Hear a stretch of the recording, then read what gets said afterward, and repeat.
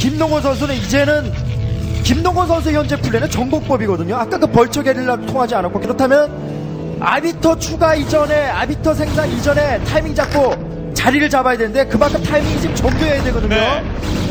자, 상대편의 움직임이 심상치 않으면 알 텐데 김동건 선수. 김동건의 반응은 일단 Factory는 늘리고요. 예, 예, 저 Factory 딱 돌아가는 타이밍에 한 방. 사실 김동건 선수 거기에다가 거의 승부를 걸어야 되거든요. 네. 타이밍 잘 잡아야 됩니다. 지금 소천왕은 어, 다음 작전 다 다음 작전까지 준비되고 있어요. 어, 그러면서 김동건 선수도 추가 멀티를 지금 시도를 하는 건가요? 네, 서로 비슷한 시점입니까?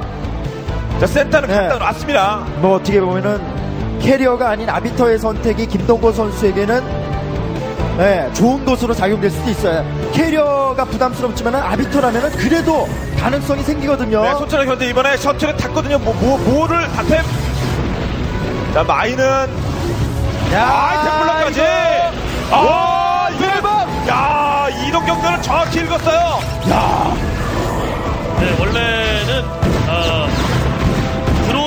엄청나게 폭사를 어, 아, 폭사는 아니고 드론을 엄청나게 잡아줄 수 있는 것과는 달리 SCV들은 맷집이 좀 있어갖고 움직이는 SCV 그 하이템플러로 다수 잡아내는 좀 어렵거든요. 네. 근데 지금은 움직임 이동 경로를 정확히 예측하고 네. 두 번의 스톰을 정말 잘 썼죠. 성과가 네. 좋았습니다 지금. 네. 아, 이제 저렇게 자꾸 뒤를 귀찮게 하면 그거 선전대 선전대 그런 생각 나거든요. 그러면 김동건 선수가 뭐에 집중할 수 없습니다. 네, 그래도 지금은 손창훈 선수 방금 전에 하이템플러 드랍도 상당히 적중했는데 지금 저 센터 쪽에 시도되고 있는 김동건 선수의 이건 멀티를 예, 이건 멀티가 무작정 돌아가게 되면은 그래도 김동건 선수가 병력이 쏟아지거든요. 자, Arbiter 쪽 지금 뭐 생산 중에 있는 것으로 보이고요. 그리고 지상 병력은 이제 대량 생산 체제가 막 갖추었습니다. 손- 손자랑 이제 만들어지는 거예요. 아직은 다 보유한 건 아니에요. Arbiter 봤으면은 김동건 선수도 Science Vessel 생산해야 됩니다. EMP를 같이 써주면서 대응을 해야죠.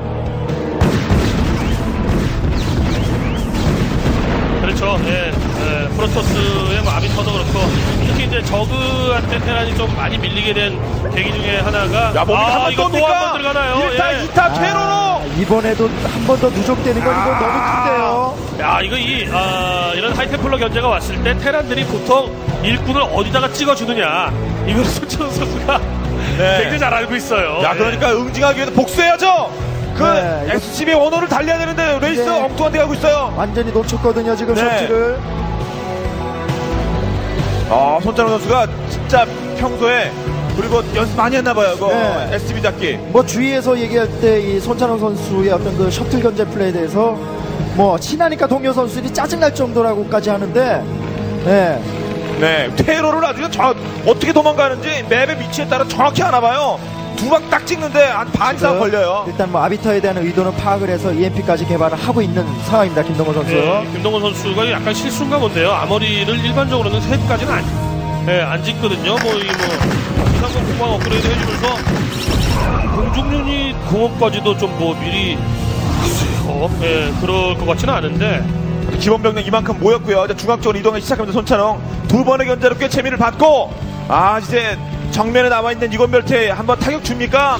자신이 원하는 가- 조합이 완벽히 갖춰진 건 아니에요. 아직 아비터가 뚫을 생각을 하는 네. 건가 이거 지금 뚫릴 수 있거든요. 자, 이 병력만 갖고 한번 해볼 생각입니까? 사이렌스톰 한아 약간 짧았어요. 야 이번에는 뭐 이건 뭐 예, 조금 더 짜증 안 났겠어요. 네. 한 1타만 더 들어갔으면 큰일 날 뻔했어요. 다 죽었어요, 지금 저 SCV는. 저 Wraith는 뭐한 어. 1 kill도 없네요. 네. 야, 오른쪽 라인 다 먹으면서 네. 드디어 Arbiter 출연. 여, 여전히 지금 그 초반 build의 격차를 김동건 선수가 따라잡지 못하고 있는 상황입니다.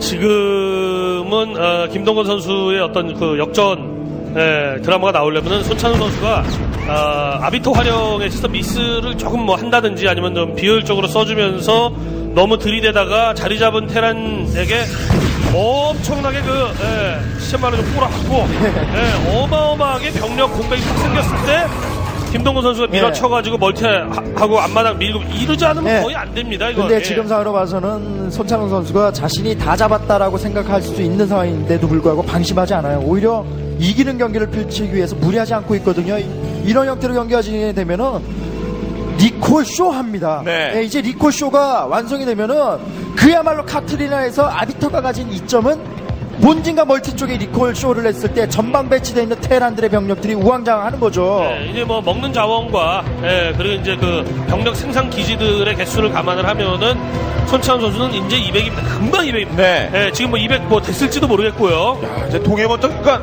아비터에 대한 부담 때문에 병력을 전부 전진 배치할 수가 없고 동해번쩍 서해번쩍 하는 거예요. 그냥 손찬호. 들어가나요 이걸? 네, 질러다. 네, 잠시 대기, 잠시 대기. 네. 굳이 뭐 들어가서 유닛을 한번 순환시켜주는 것도 나쁘진 않습니다만 오히려 리콜에 쓰는 게 낫죠 지금은. 네. 아, 괜히 갔다가 병력을 좀 잃긴 잃었습니다. 뭐 큰 damage까지는 아니어도. 예, 뭐 이런 정도 뭐 몇 개 잃는 건 지금 뭐 아무것도 아니죠. 예. 아주 들이대다가 엄청나게 대패를 당하는 게 문제지. 네, 이제 견제 이제 네. 다시 안 당한다. 예, 그리고 네, 아니 Arbiter 의도를 알고 있기 때문에 그렇죠, 그렇죠. 예. 근데 지금 이럴 경우에는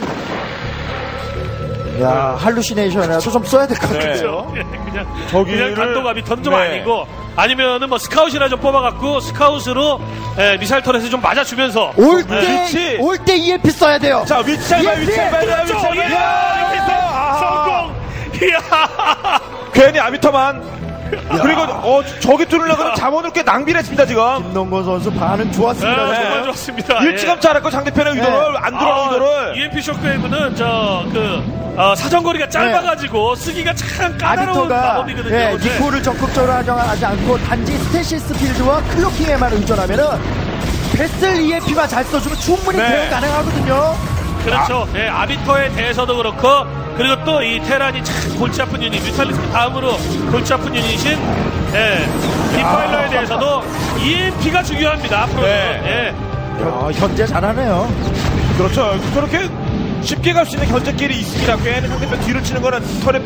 뚫려졌어요. 근데 지금 변수는요, 김동건 선수가 Arbiter 체제에 대해서 지금 대응을 너무 잘해주고 그러니까, 있어서 만약에 이런 형태로 좌측 라인을 다 가져가고 recall을 사전에 방지하고 Stasis Field 못 쓰게 EMP 써주면 네. 아, 또 들어갔죠, EMP? 자, 그런데 지금 Vessel이 두 개가 얼었어요. 예, 근데 뭐 Vessel 하나만, 네. 하나만 아. 일단, 아, 지형상 불리하죠. 그렇죠. 아, 계속 계속 지금 damage 먹고 있습니다. 포인트 잃고 있어요. 지금 네. 손찬웅이. Vessel 하나만 살아있으면 저 그 아비터의 아, 주변을 cloaking화하는 이 능력이 별 예, 의미가 없어지는 거 아니겠습니까? 그리고 하나 남아있는 Vessel을 또 얼릴 수 있는 Arbiter는 EMP 맞아버렸고 네.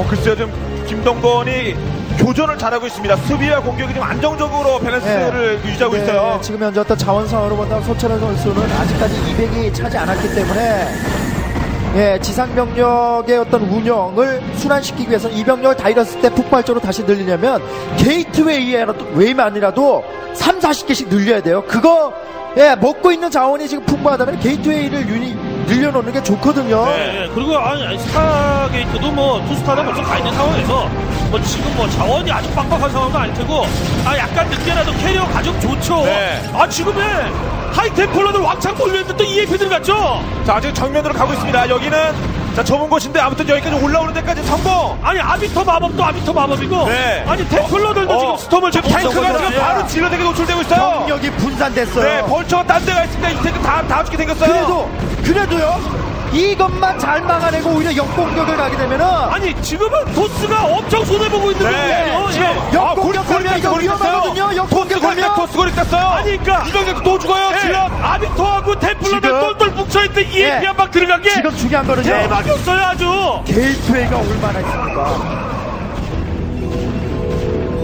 유닛이 지금 나와줘 있어야 되는데 순식간에 이 병력으로는 안 되거든요. 순식간에 그 unit count가 130대로 떨어져 네, 손찬웅 괜히 수습하면 안 되고 지금 수습하면 안 되고 괜히 Toss도 수습 금방 합니다. 지금은 김동건 선수 몰아쳐가지고 어디 하나 타격을 줘야 돼요 지금. 그렇죠 siege 풀고요. 아 손찬웅에게 아비터의 운영이 지금까지는 계속 지금 점수만 네. 잃고 있어요. 지금 무엇보다도 손찬웅 선수의 어떤 그 아비토 운영에 대해서 김동근 선수가 너무 잘해주고 있는데 아비토의 스테이시 필드나 리콜을 쓰지 못하게 만들어주고 있는 게 아주 너무 적중하고 있거든요. 병력, 순수 지상병력 힘싸움에서는 김동근 선수도 할만하다라는 네. 거죠. 아비터가 효과적으로 활용되지 않으면 아니 그냥 그냥 싸우는 거 아니에요 기사분들끼리. 네, 그리고 김동건 선수도 어, 값싸고 빨리 나오고 그냥 조금 잃어도 상관없고 마인만 여기저기 쫙쫙 깔아두면 토스한테 부담을 벌초 정말 많이 써주면서 베스를 많이 뽑아야 됩니다. 네. 지금처럼 EMP적으로 잘 써주고 있는데 베스를 최대한 많이 뽑아갖고 예